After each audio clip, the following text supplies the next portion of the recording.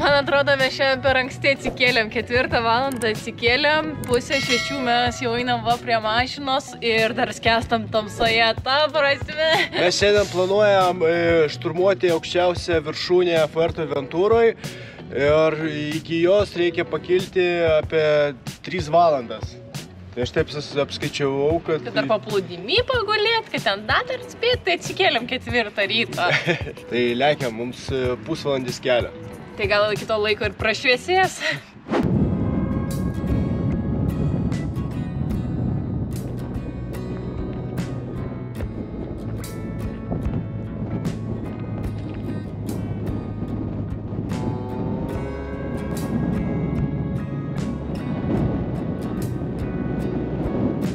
Dar kartą labas rytas, mes jau įpusėjom.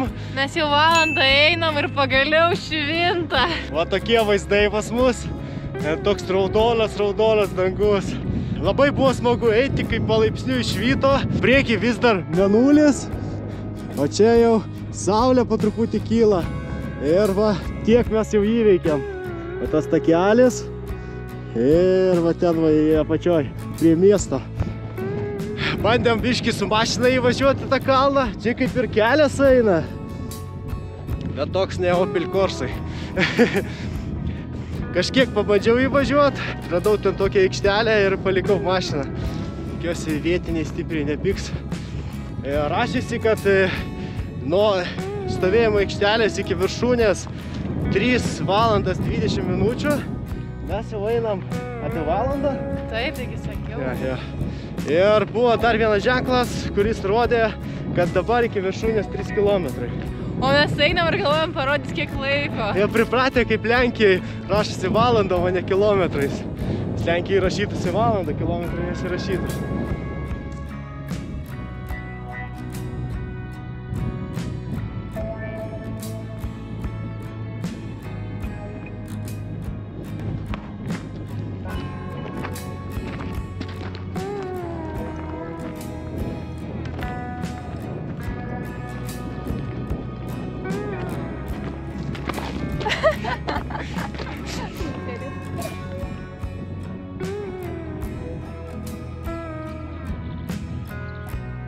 Atsiprašau, kad aš taip apsirengęs, nes čia vietomis vėjas taip užpučia, tai ausys prapus ir gerklė, tai rytoj gulėsiu lovai. O čia trasos irgi pažymėtas va tokiais va stulpeliais ir geltona balta. Nebent ten buvom trasoj, irgi vienoj, tai irgi geltona balta ir čia geltona balta. Tai pasiklyst sunku bus. Ir čia einam šituo taku ir pašoniai nėra nei vieno medžio. Visi krumeliai nesiekia ir pusės metro, kokiu trancomu. Džiūvė tokia va. Nesu gelytėm, žiūrėk. Ir spigliuotis. Ir čia visur, visur akmenys. Visur tiesiog akmenys tokie išmėdyti kaip patrankos, o šitos bombos. Akmuo, realiai, jisai mažas, bet labai labai sunkus ir jisai toks, atrodo, kietas labai, jo turbūt nesudaužys. Va, mes kitą sieną. Ne! Ką tu darai, blemba, į akis kaip šaus? Nešaus. Mažas vaikas. Bet ir nedūšta nieko, sakau, kaip metalo gabalas toks. Sunkus, sunkus.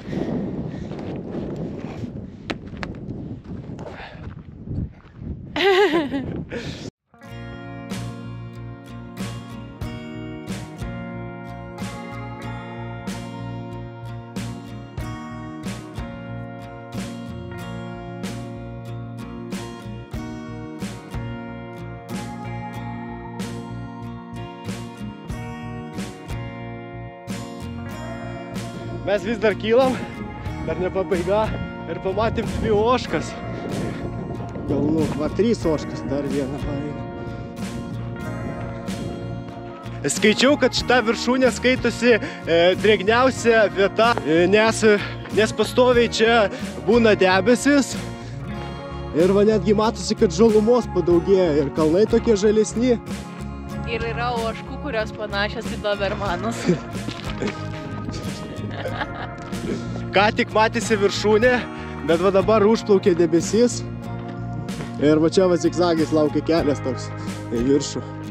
Mes einam kaip hobitai. Ir čia dabar turėtų būti muzikėlė Port of the Rings.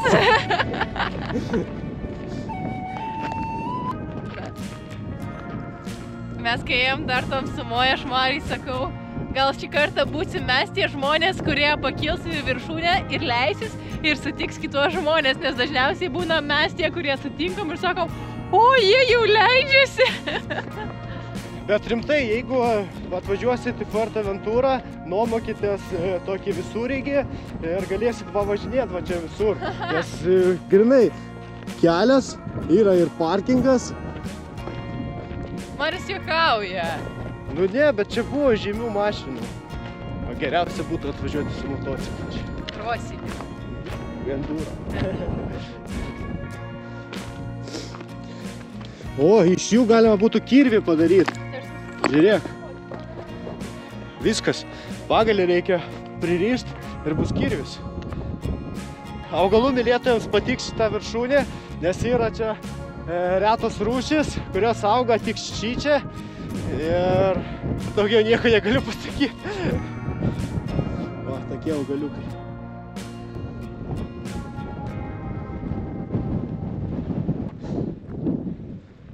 Daugiau nei pusę metro, jau čia pirmas augalas. Jo.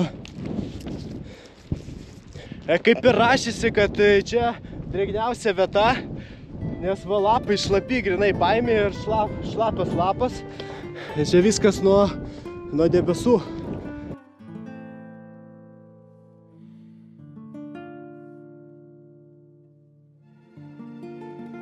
Ir mums liko kilometras iki viršūnės.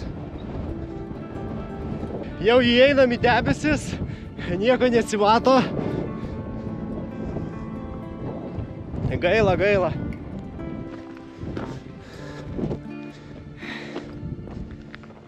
Einasi taip lengvai, kaip sviestų patepta.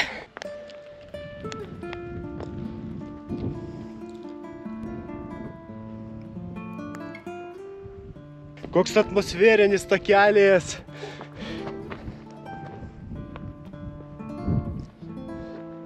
O, žiūrėk, gėlytės kokios.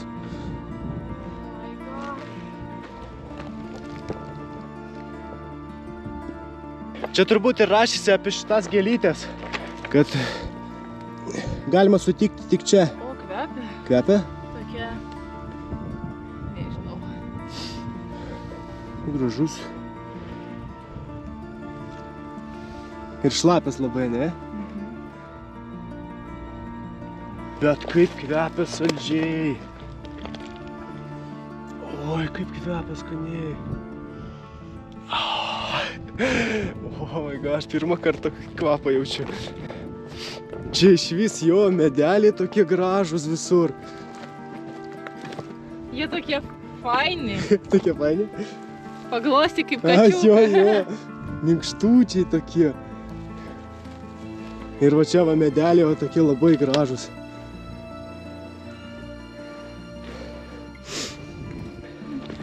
Milda, tau čia patiktų.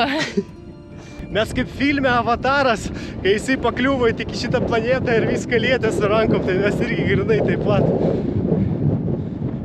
Taip viskas nauja čia.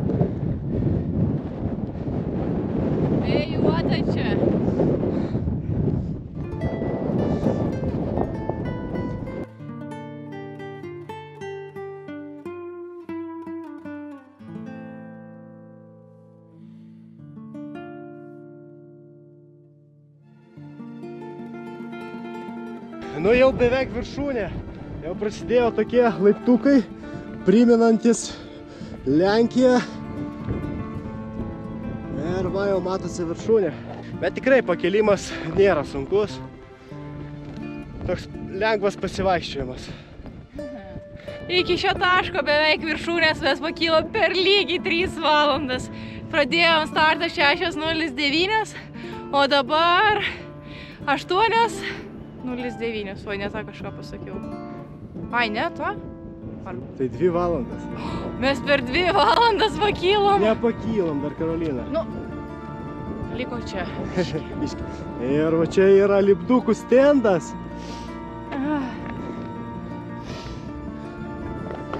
Tai pamatysit mūsų lipduką čia irgi. O, šlapia, nesiklijuoja. Lemba. Reikia išdžiovinti dar kitą liptuką.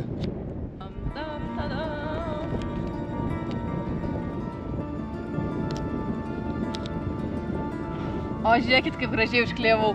Be oro puslelį, ne taip kaip Marius. Jai patinka labai stumti ant manęs. O kas kitas, jeigu ne aš? Mes jau virš debesų, o ten vaėjom debesyse. O čia jau nėra debesų. Negaliu suprast, kam padaryta va šita va tvara. Čia, čia, čia.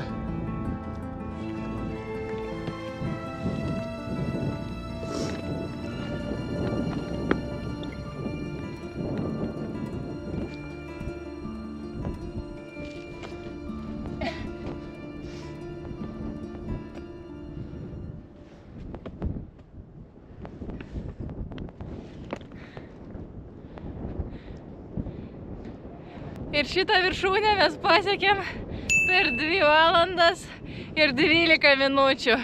Aukščiausias taškas Fuerteventūroje. Uhu! Kaip gražu čia.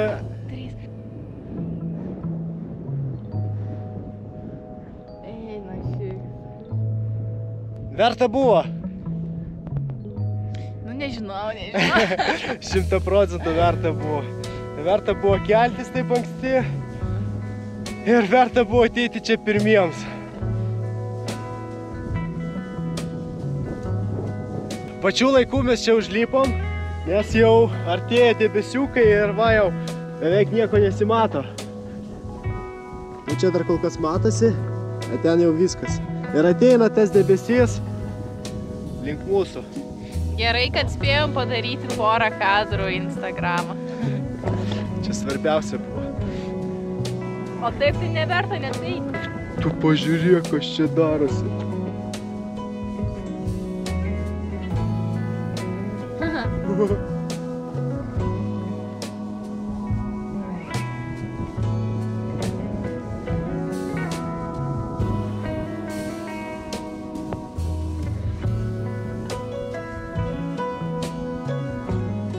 O dabar mes užkasim karštai su muštiniais. Nu, tiksliau, jie jau šalti, bet buvo karšti.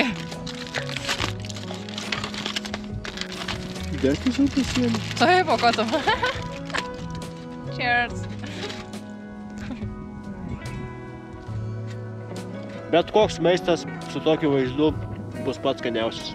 Šiaip karštai su muštiniai visada skanus. Kažtai sumuštinį atšalinį labai skanų. Labai skanus. Man patinka. Aš kaip planavau ką aplankyti ir radau šitą viršūnę ir žiūrėjau kaip į ją pakilti. Ir kažkaip buvau suplanavęs, kad kilti reikės iš šitos pusės. Nuo pajūrio pradėt. Nuo pajūrio. Planavau, kad reikės iš šitos pusės kilti. Bet žiūriu, kad čia... Ne, be šansų, jo, be šansų čia. Gerai, kad prieš išvažiuojant, galvoju, reikia pat- patikrinti, kur tikrai reikia važiuoti. Patikrinau, tai vis dėlto reikėjo iš kitos pusės. Nes e, pagal žemėlapį iš čia atrodo trumpesnis kelias. Nu jo, jisai trumpesnis. Aš nusprendžiau atsigulti ir prie pat krašto priartėti. Kaip čia atrodo baisiai viskas.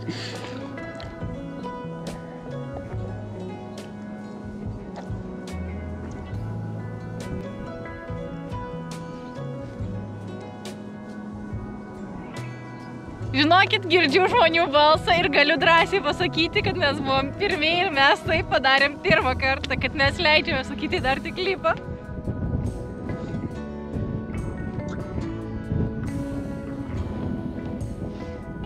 Šimta procentų rekomenduoju visiems, kas bus Fuerteventūroje, užlipti į šitą kalną. Tikrai labai labai gražu. Bet ar palyginus, vėjas tai nestiprus. Nes kai skaičiau, kad čia nuputinėjo vos tai žmonės. sekasi mums, sekasi kol kas su vėju. Nors įleidžiamės tuo pačiu keliu, bet vaizdai visai kitokie. Prieš tai buvo viskas debesyse, dabar įsisklaidė. Atrodo labai neblogai čia. Ir va tas takelis matosi, jeigu matosi, prieš saulę. Žinokit, aš čia su dviem džempais šalikų užsimoturiavus, o ten gale eina moteris su maikutė ir šortais. Klausiu Mariaus, ar jauti tą skonį? Jis sako, ko, sumuštinė? Aš sakau, ne, kai žmonės, kai mes leidžiamės, o žmonės makyla. O jam sumuštinis galvoj tik tais.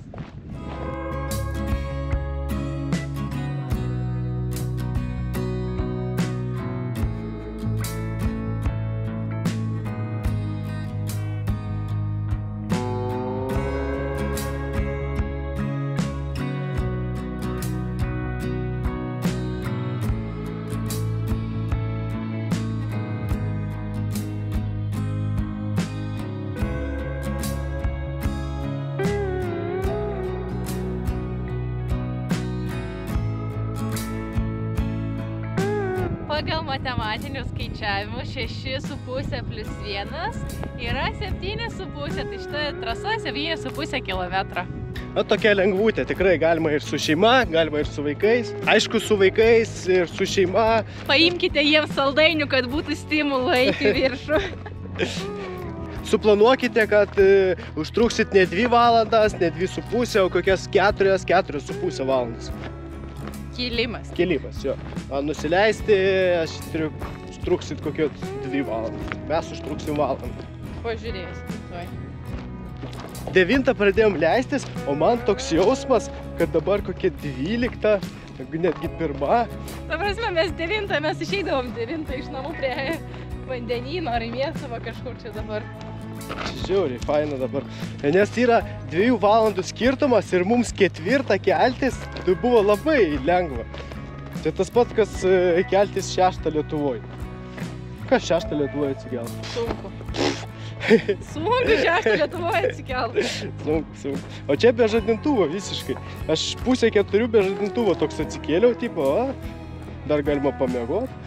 Toks geras jausmas yra, kai tu jau baiginėjai trasą, o kiti dar tik kyla. Ir kas jų dar laukia, tu jau visą šitą reikalą praėjai. Žiauriai faina, pirmą kartą taip.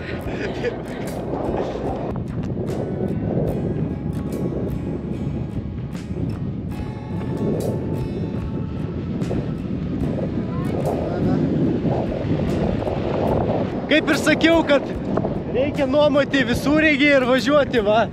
Grinai čilina, va toks va kalniukas čia. Žiauriai kietai. Labai norėčiau. Bet daugiau norėčiau su motociklu negu su mašina.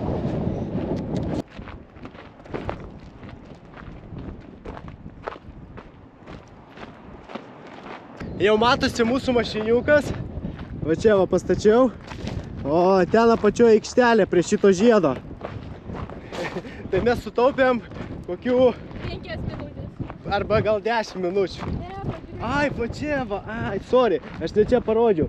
Yra ten aikštelė, kur žiedas tas, ir yra aikštelė va čia va. Va, ten va aikštelė. Tai sutaupėm 5 minutės. Finišas. Nusileidom per valandą 17. Valandą 17. Nu greitai, Gerai, labai. gerai. Vietomis Ir žinot, kiek dabar valandų? Dabar yra 10.17. 10.17 mes nuėjom į priekį ir jau grįžom. Ir dar turim visą dieną. Tai siūlom visą laiką keltis kuo anksčiau, kuo anksčiau išeiti ir tada jau galima. Kaifuoti. Mano laikrodis dabar rodo 3 valandas 21 minutę aktyvumo, tada 1010 sudegintų kalorijų, 20 tūkstančių žingsnių. O, 20 tūkstančių? Taip, O, 20 normaliai tūkstančių čia žingsnių. pasidarė. Visai neblogai. Nusipelnėm picutės kokios nors. Picutė, paskui būsi pats kaip picutė, čia važiuok jau. Dabar laukia mūsų nusileidimas. Reikia kažkaip apsisukti čia. Ir nenuvažiuoti va ten va. Nėra žmonių. Nėra, nėra, gazuok. Gazuok. Dugna. Bet ne taip ekstremaliai, kaip važiavom Turkijai. Na, Atsimeni? jau. Pusę atsimenu, pusę ne, nes pusę kelio man buvo labai bloga. Bet sakau, jeigu išnuomosit visureigį, tai drąsiai važiuokit čia.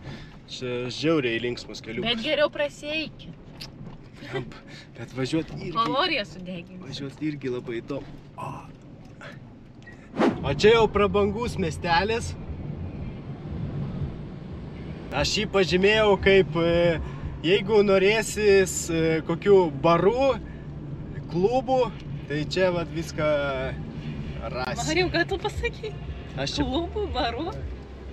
Čia ne iš jo operos visai. Ne, tai aš, aš pažymėjau, sakau, aš pažymėjau, jeigu reikės.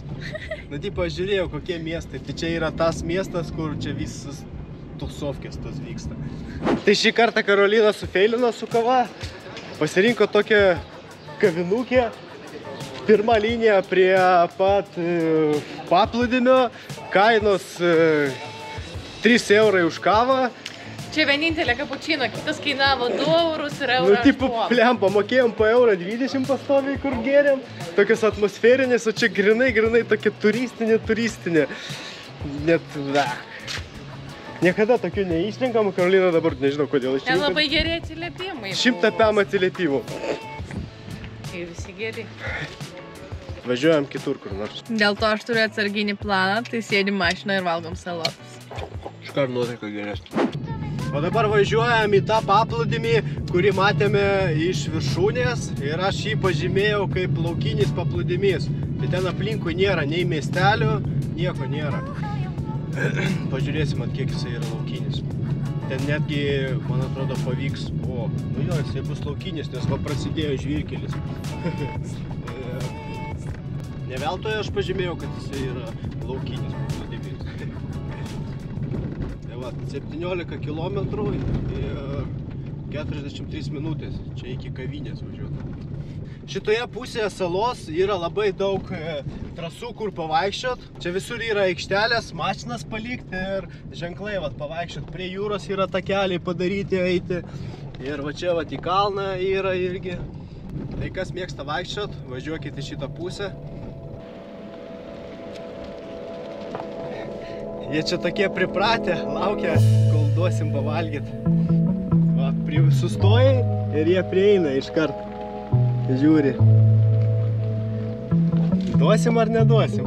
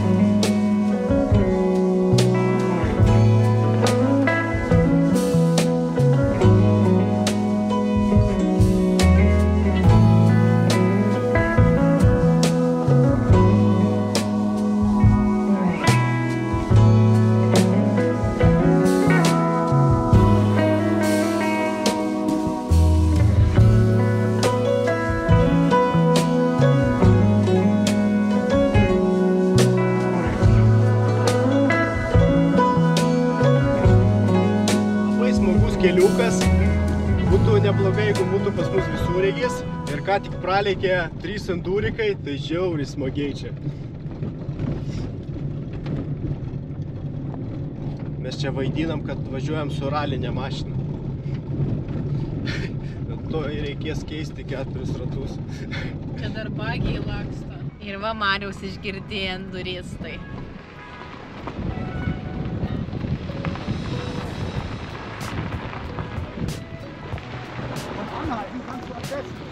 Va dabar endurikai važiuoja iš paskos.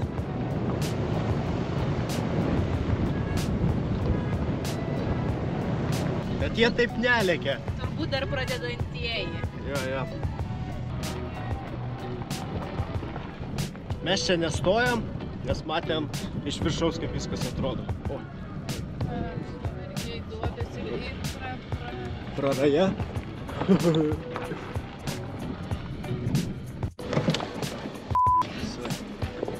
Čia tokie. Kas yra? Ko- Taigi čia duobės. Čia tokios duobės. Ja, turbūt jūs nieko nebematote. Šitaip. Marius mane žaloja. Karoč, Nieko aš nežaloju, čia žiauriai. Akmenuotas kelias ir tokie aštrus labai akmenys. Net, net džipas prieki važiuoja kaip vežliukas. Tu nepyk, ašgi nekaltas.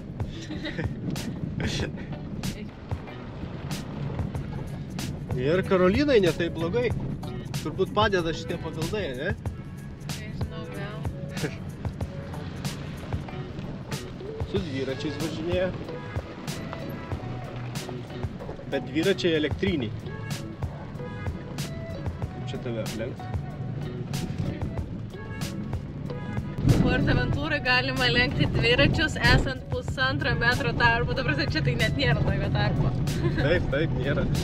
Kaip pas mus dabar naujas taisyklės metras, o čia pusantro. Tai netgi dviratininkai važiuoja pirmą juostą ir lenkia juos, grinai jo per antrą arba į priešpriešą išvažiuoja.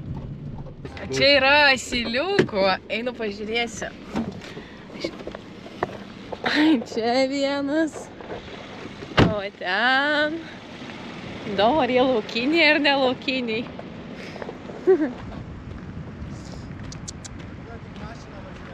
Matau.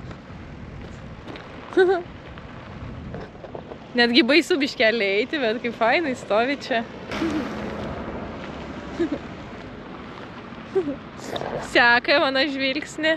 O čia gražesnis, švaresnis, ant to daug mūsų buvo.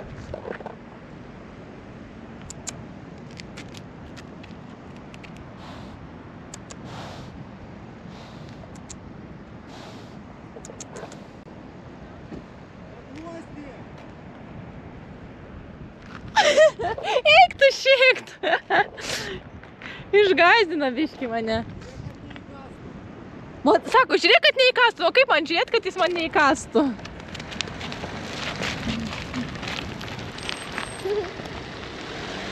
Asiliukai, kaip fainai.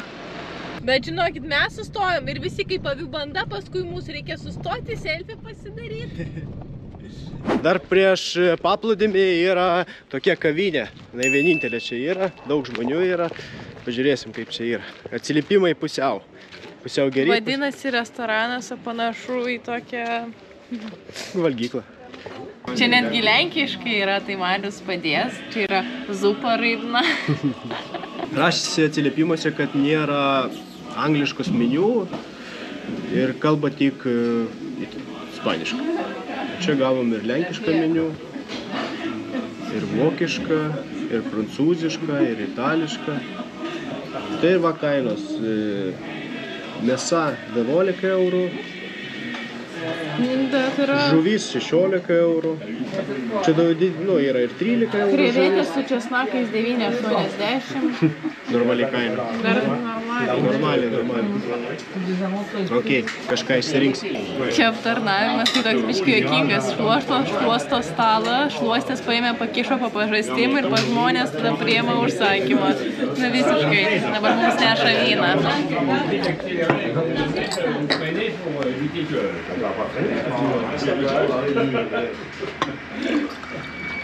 Gracias. Norėjau užsakyti paelos, bet sako, arba jinai labai didelė, arba reikia užsakinėti bent dvi porcijas. Tai biškai šitą neišsiaiškinam, tai paėmiau e, oškos mėsos, o Marius pas, pasiėmė dienos žuvį.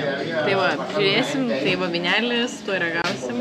Pas vienus nurinko indus, prieina prie kitų, paima užsakymą su krūva indų rankose, pasiema meniu ir išeina. Nu, toksai biški kaimo vaibas, bet pažiūrėsim. Svarbiausia, kad maistas būtų normalus ir nebūtų mums bloga. Karolinai čia atrodo viskas juokinga, tipaliai šakutės juokingos, tokios sovietinės. Kaimietiškos, sakau, nu kaimietiškos.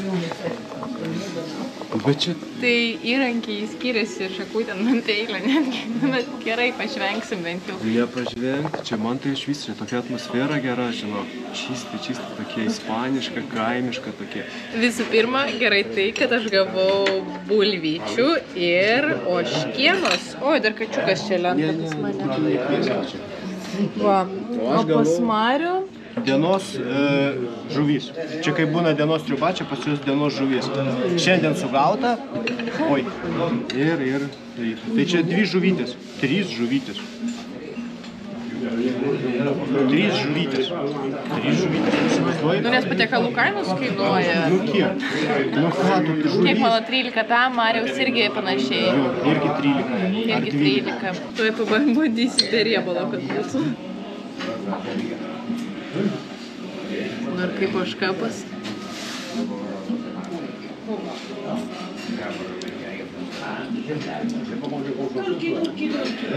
Kaip a, keuliena šita, kaip burgerį būna, kaip plėšta keuliena, nu, tik su kažkokiu prieskoniu tokiu. Skanu?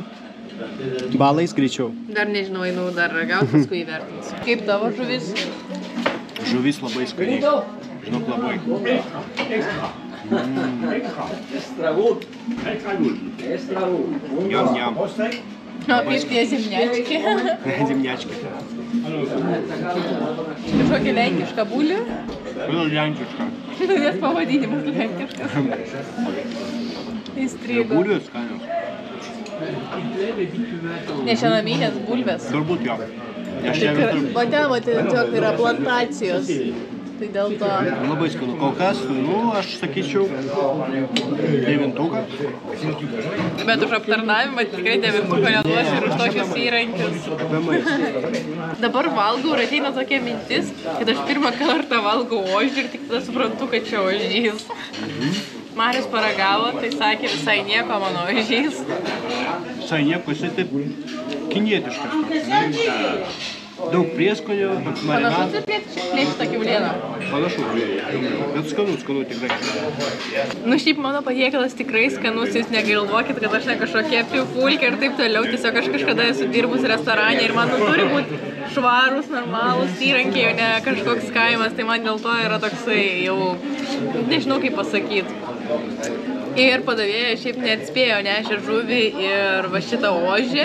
Tai ožį duoda Mario, o man žuvį. Aš sakau, nu, nu. Ir tai, a, tai buvo tau mėsa.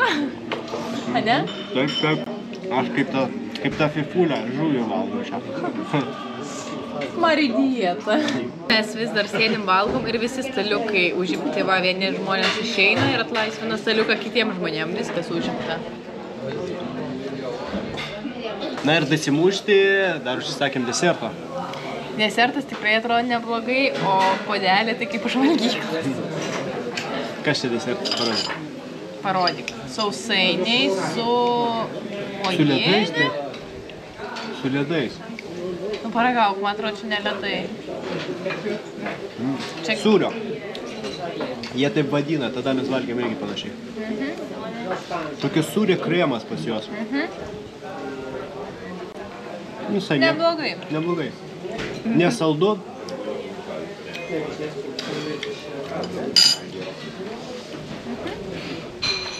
Desertas neblogas.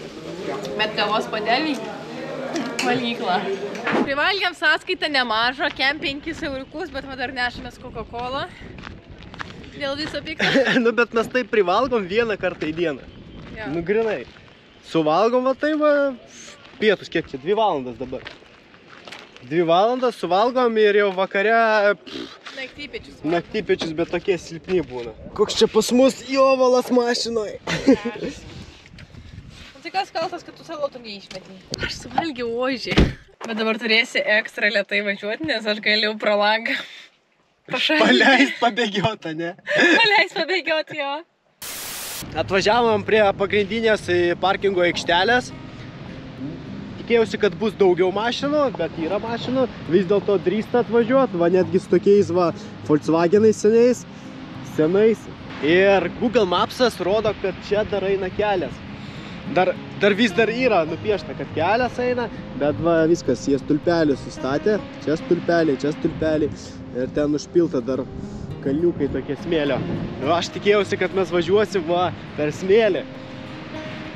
Bet tik galima iki čia. Davažiuoti daugiau negalima.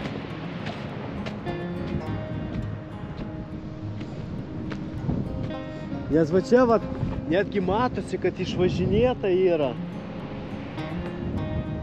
Jie kažkaip čia užvažiuoja, matyt. Nu, mes čia nesusikinėsim, nevažinėsim. Pastatysim čia mašiną ir eisim kur nors va ten va už kokios krūvelės pasislėpti nuo vėjo ir eisim pagulėsim pailsėti.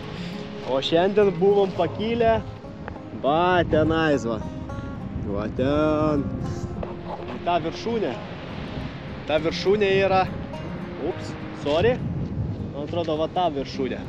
Va ta viršūnė yra aukščiausias taškas Fuerteventura. Ir va čia va kelias truputį prasisvečia, kaip ir važiuoja mašinos, bet mes tikrai nerizikuosim. Va ir čia va važinėja. Karolina, kodėl kuprinė neši į priekio? Nes kaip nes čia atrodo. Po tokią vietelę radom. Už krūmų pasislėpsim nuo vėjo. Ir vaizdas iš šitos pusės į kalnus, o iš šitos pusės į banguotą vandenyną. Norėjai sakyti banguotą jūrą.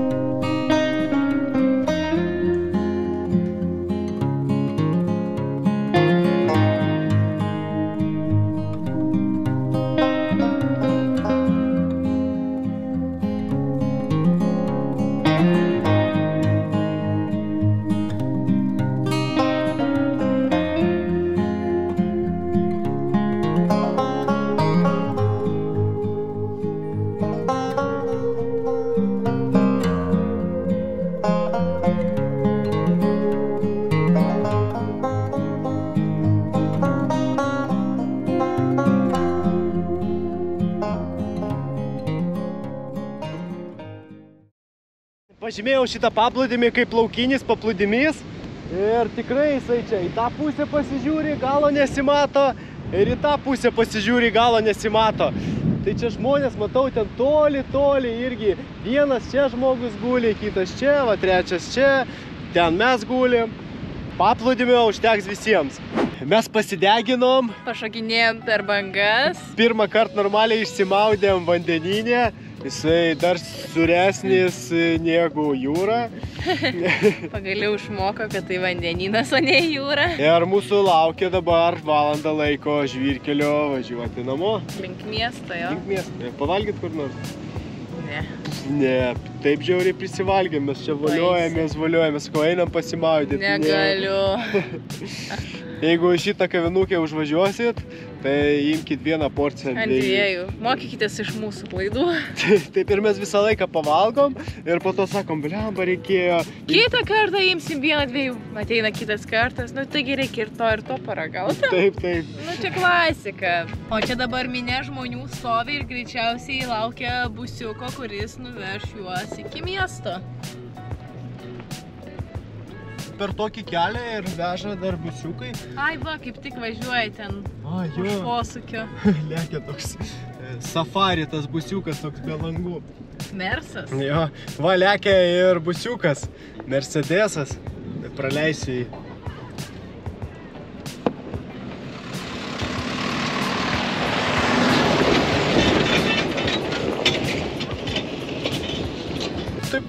Jisai drąsiai, drąsiai.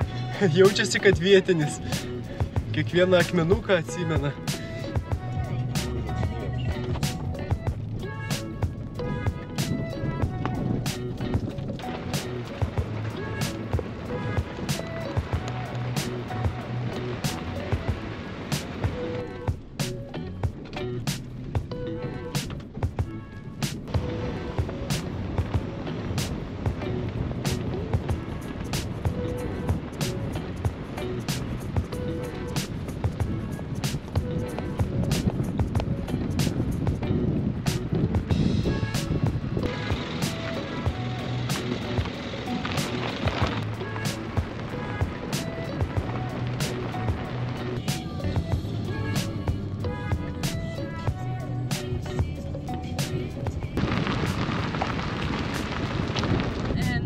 Five day. Okay, five days. Yeah. Uh, all holidays. Uh, Ten days.